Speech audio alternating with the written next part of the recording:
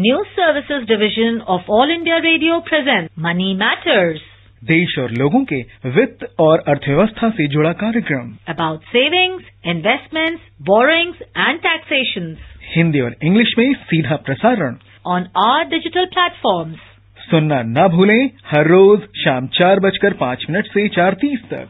Money matters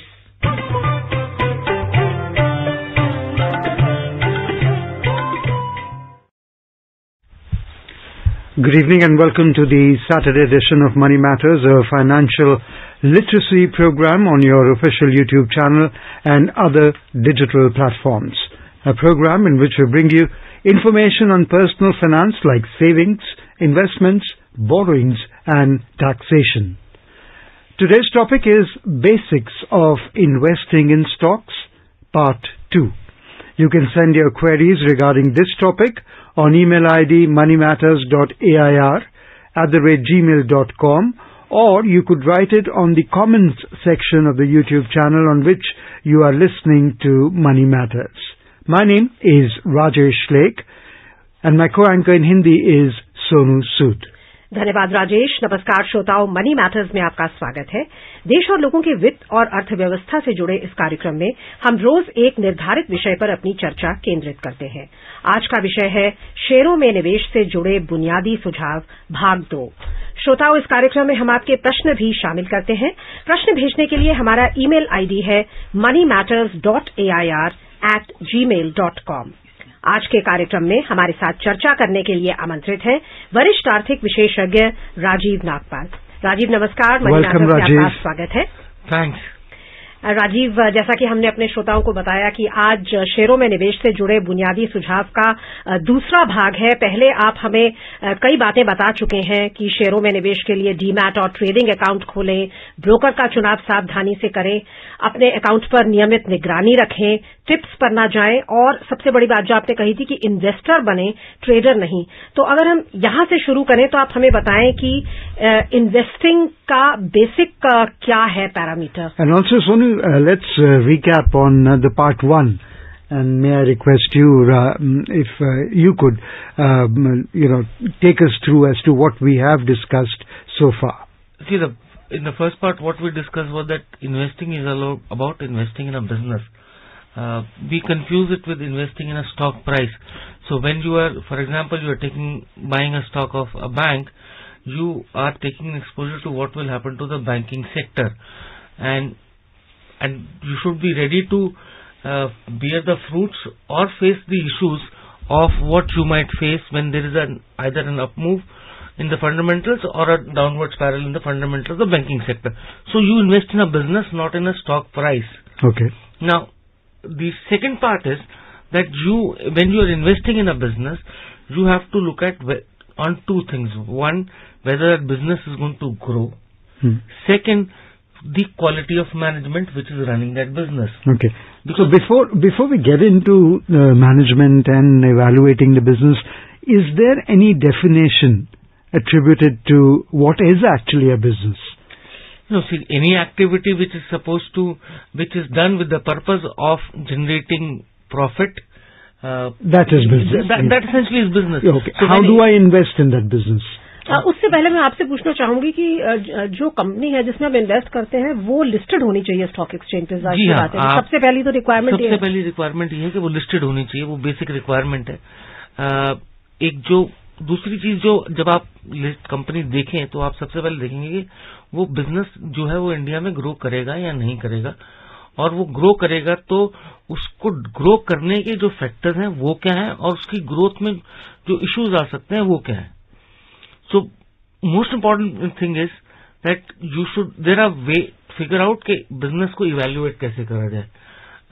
अगर आप देखेंगे कि जो बुनियादी जरूरतों के बिज़नेस है लाइक एफएमसीजी कंपनीज़ जिनके प्रोडक्ट आप रोज यूज़ करते हैं अगर आप उनका उन स्टॉक्स के बीस साल के चार्ट उठा के देखेंगे तो आपको लगेगा कि कुछ भी हो जाए वो स्टॉक्स परफॉर्म करते हैं तो वो बिज़नेस है।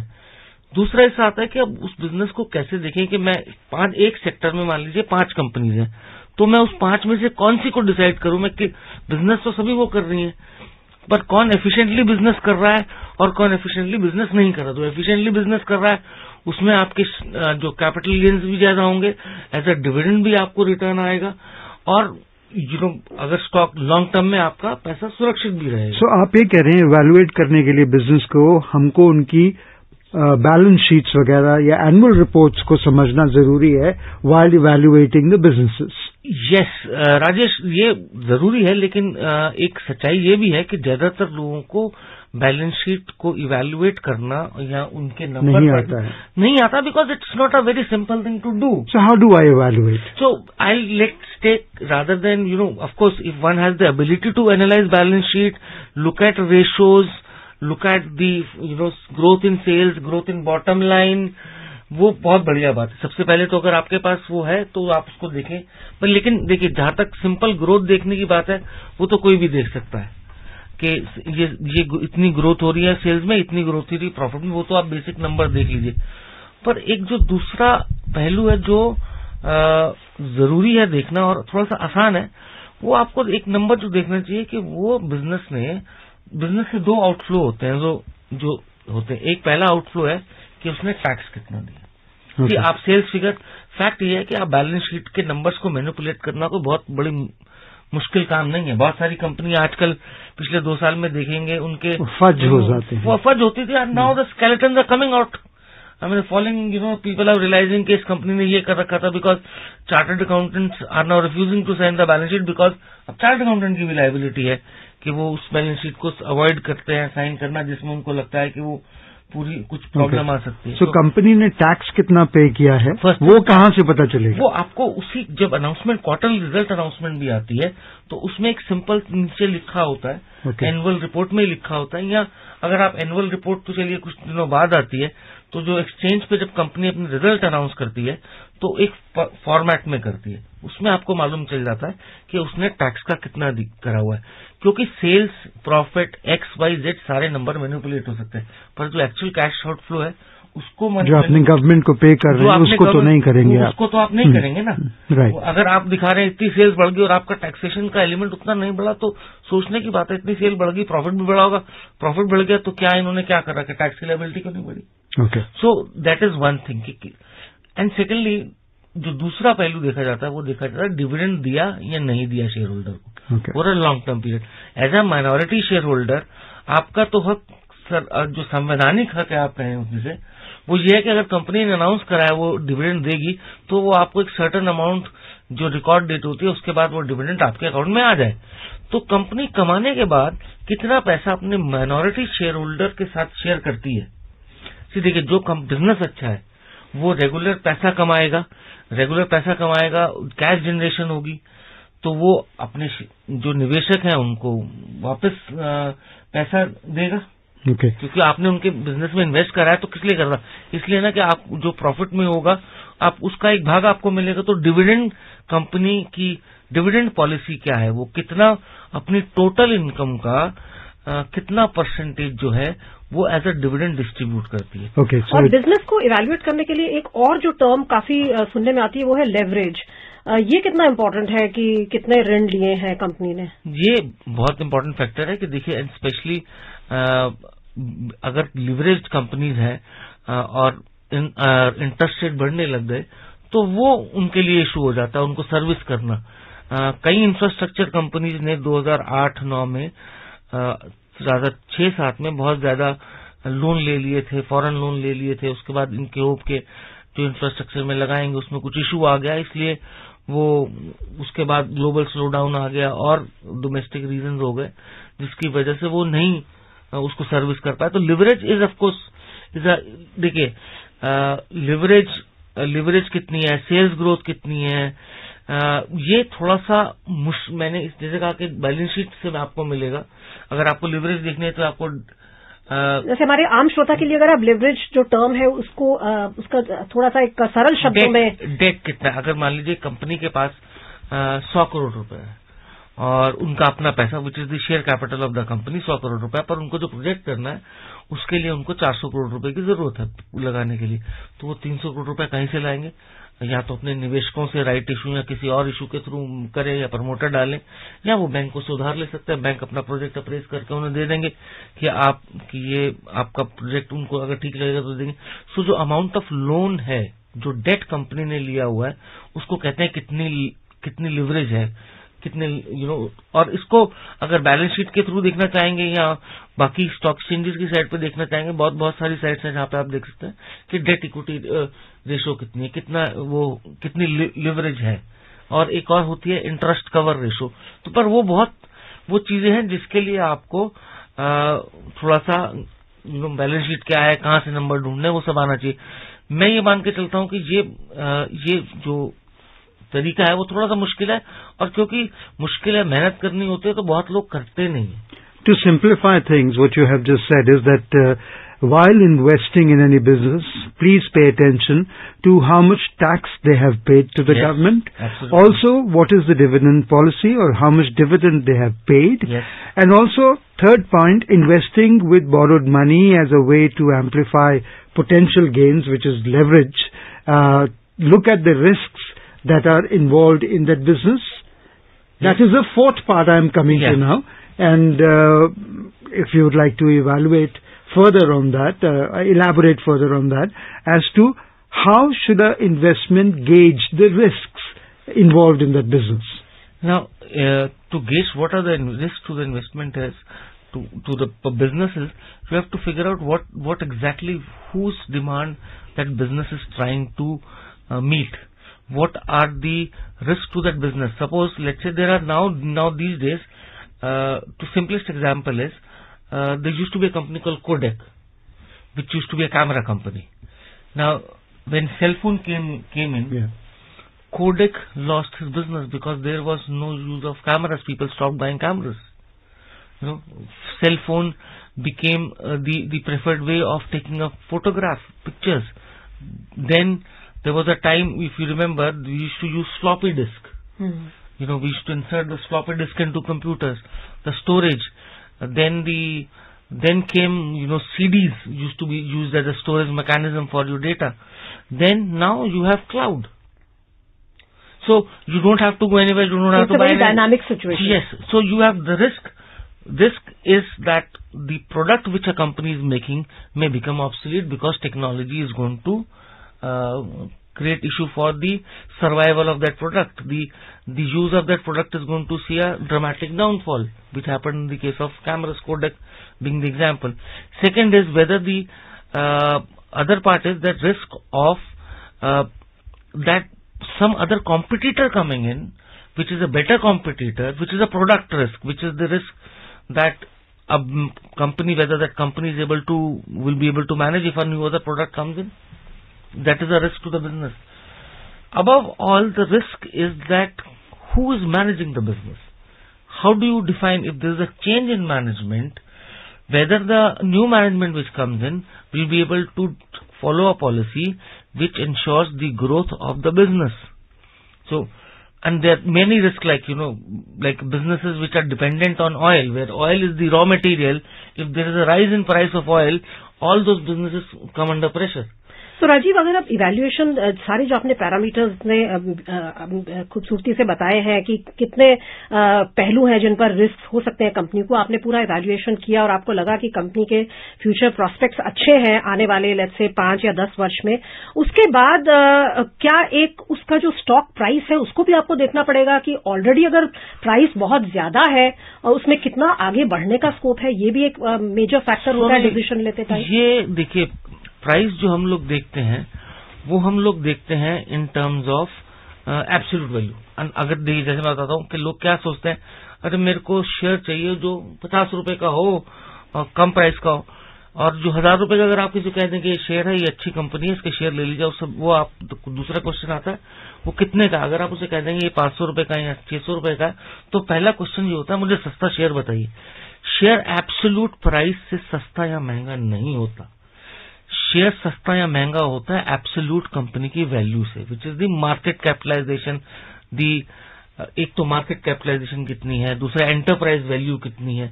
तो एब्सोल्यूट प्राइस को देखना एक गलत है, वो मिराज क्रिएट करता है। काफ़ी लोग होते हैं, अगर आप देखेंगे पेनी स्टॉक्स जो है, उसमें बहुत ट्रेडिंग होती है। वो कभी नहीं करनी चाहिए, वो एप्स वो सस्ता था, सस्ता है और सस्ता रहेगा। और शायद कुछ दिनों बाद रहेगा ही नहीं। तो आप उसकी वैल्यूएशन देखें तो क्या प्राइस लास्ट फैक्टर है सबसे पहले valuation of the company absolute price जो है वो लास्ट फैक्टर है। आपको देखनी पड़ती है कि उसकी वैल्यूएशन क्या है। अब एक उस वैल्यूएशन में एक और चीज़ है कि एक एक और एक कंसेप्ट है कि जो हाई पी स्टॉक है उसको नहीं लेना। आ, हाई पी ये देखना पड़ेगा उसे हाई पी मिल क्यों रही है? क्या प्राइस जो है वो फ्यूचर ग्रोथ के लिए उसे हाई पी मिल रही है? या उस टाइम पे उसे हाई पी इसलिए मिल रही है कि वैसा कोई स्टॉक नहीं है और वो क्षेत्र लगता है कि बहुत अच्छा करेगा आने वाले दिनों में। जैसे कि मैं आपको एग्जांपल देता हूँ, एक टाइम में सन 2000 में अगर आप आईटी में थे तो ऑन एन एवरेज पचास, पचपन, साठ, सौ की पी मिलना कोई बहुत बड़ी बात नहीं थी। उन कंपनीज़ को भी जिनके फंडामेंटल वो जस्टिफाई नहीं करते थे ओवरऑल और जिन कंपनियों की, जो बड़ी कंपनियाँ थी, उनकी पी उससे भी ज़्यादा थी। Over a period of time उस क्षेत्र में से आज मेरे ख्याल से यहाँ दो या तीन कंपनियाँ हैं जो अपने उस भाव से ऊपर हैं जो 2000 में उनका भाव था Okay, Rajiv, we'll be taking a short commercial break. And when we come back, uh, listeners, uh, stay tuned because we will be asking Rajiv where can we get all the information that he's talking about? From where can we gather the information on the companies that uh, we are uh, talking about in investing? You're listening to Money Matters on our News on AIR official YouTube channel. You may ask questions in the comment section of the YouTube channel or through our email ID moneymatters.air at gmail.com.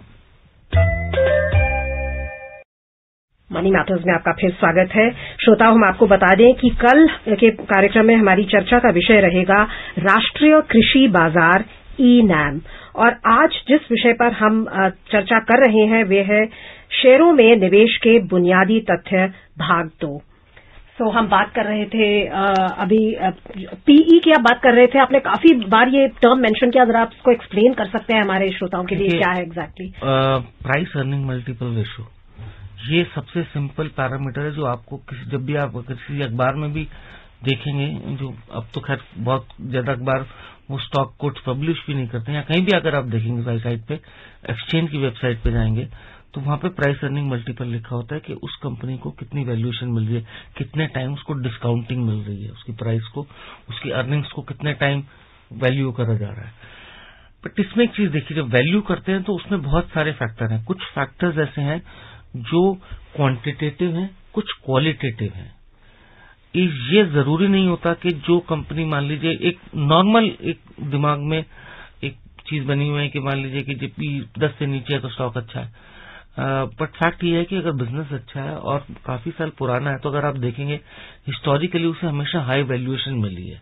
क्योंकि एक अच्छे business के paper की demand ज़्यादा रहती है क्योंकि उसके बिज़नेस में सर्टेनिटी होती है। आ, तो आप किसी भी बिज़नेस को जैसे मान लीजिए एफएमसीजी कंपनीज़ को अगर आप देखेंगे जो एमएनसीज एफएमसीजी कंपनीज़ हैं उन्हें हमेशा प्रीमियम मिला है to the overall stock market valuation अगर मान लीजिए पंद्रह का पी सेंसेक्स का चल रहा है तो शायद उनका अट्ठाईस चल रहा होगा। वो भी एक्सेप्टेबल था। वो भी एक्सेप्टेबल आज भी था आज भी है। वही सिचुएशन आज से पंद्रह साल पहले आज से बीस साल पहले भी हुई थी। शायद उससे पच्चीस साल पहले भी हुई थी कि वो कंपनियाँ हमेशा सेंसेक्स से ऊपर वैल्यूएशन पे ट्रेड करती थी और तब भी ये कहा जाता वो तब भी अगर आप नंबर्स के हिसाब से आएँगे तो वो एक्सपेंसिव दिखेंगी। बट फैक्ट ये है कि आज भी वो एक्सपेंसिव है आज भी वो एब्सोल्यूट टर्म भी प्राइसेस जो है वो काफ़ी ऊपर है। वो अपने इन टर्म्स ऑफ़ डिविडेंड जो है अपने शेयर होल्डर्स को काफ़ी रिटर्न दे चुकी है। सी फाइनली आपको आपने शेयर किस लिए लिया था? आपने शेयर इसलिए लिया था कि आपको प्रॉफिट में से हिस्सा मिलेगा। कैपिटल गेन जो है वो एक इंसिडेंटल चीज़ है वो गारंटीड चीज़ नहीं है।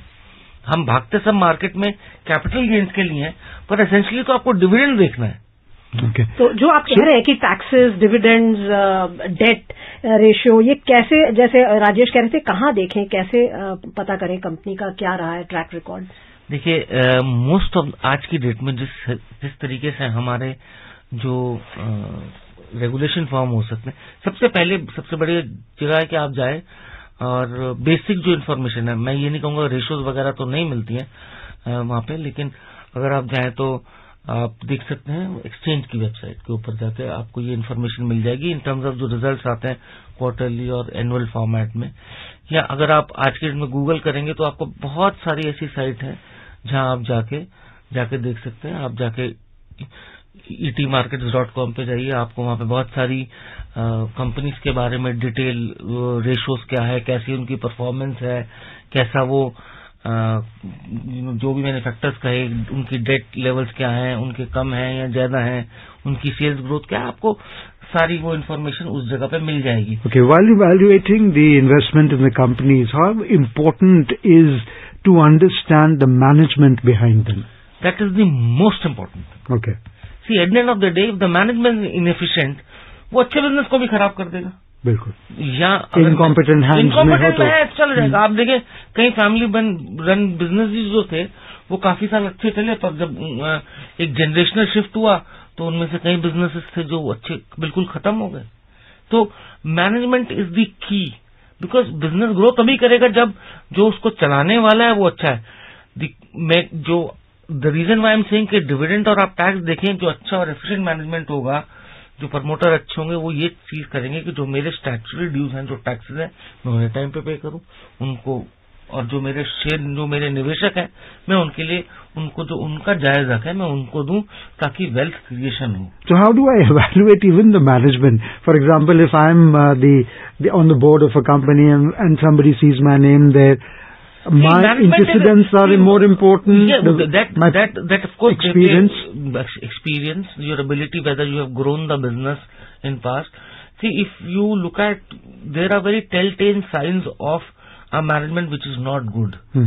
अ, अगर आप पढ़ेंगे तो वो अगर अपने एनुअल रिपोर्ट में अगर उनकी पहले पन्ने को ही पढ़ लें मैनेजमेंट डिस्कशन एनालिसिस को तो वो सारी ग्लोबल बातें करते हैं ये हो रहा है वो हो रहा है वो अपने बिज़नेस के बारे में बात ही नहीं करते to understand to make a distinction between a good and bad management as I said अगर आप दस साल का ट्रैक रिकॉर्ड देखेंगे तो आप देख लीजिए उस दस साल में उसने कितनी बार डिविडेंड दिया, कितनी बार डिविडेंड नहीं दिया, उसने टैक्स दिया, नहीं दिया सेल्स कितनी ग्रो करी है, आप उसकी इंडस्ट्री से देख लीजिए कि क्या उनकी जो इंडस्ट्री ग्रो कर रही थी, वो उससे ज़्यादा कर रहे थे। और आपको एक आइडिया लग जाता है जब आप उसके, उस कंपनी के बारे में थोड़ा सा जाके उस अगर आप डीप रिसर्च करना चाहते हैं और आप एक लॉन्ग टर्म के लिए पैसा लगाना चाहते हैं तो थोड़ा सा आपको थोड़ा सा कष्ट करना So, पड़ेगा may be writing about themselves, if they are implementing on that, Exactly. It- It's the implementation which is the key. which is the key. All right, what what uh, role does the time frame uh, play in the investment? It is a, it, it plays a very, very important role for a simple reason that, see, one should not assume that uh, the business don't grow overnight. Business Right. grow through a process. And, and a process takes time. If a company has set up a new plant, the product will take time for acceptance. If it's a new product, it will take time for getting accepted in the market. Although, so you have to give time to your investing, investment you have done. And the other part, basic of investing is that please don't start investing just because you know we every day we hear oh index is touching all time high so you should invest. No. Even when investing if you're investing in a company you should invest even if index is not touching high because you see, look at what happens. If infosys the business of infosys is not affected by what happens to nifty the index or sensex it hap- it is more important for Nif- uh, infosys to grow not to grow. What happens to the us economy so if you are uh, looking to invest in, uh, in Infosys or TCS, please look at what's happening to the factors which eff- affect them. Don't look at index के आज index बढ़ गया और मुझे share में पैसा लगाना तो मैं इन्फोसिस ले ले लूँ नहीं इन्फोसिस आप इसलिए लीजिए क्योंकि US economy is doing well उनका बिज़नेस वहाँ से आता है and they have a track record of getting good amount of You have to be smart about uh, investments also. You have to be be- patient. You, you and you have to be patient. And another thing is you don't. You have to keep your greed under control. कार्यक्रम का समय समाप्त हो रहा है आप आए राजीव हमारे श्रोताओं को उपयोगी जानकारी दी उसके लिए आपका बहुत बहुत धन्यवाद And before we close, a Dhanyavad. reminder on tomorrow's topic of discussion, and it is going to be National Agriculture Market, ENAM. And that's all we have in today's edition of Mar- uh, Money Matters. Till tomorrow, it's goodbye.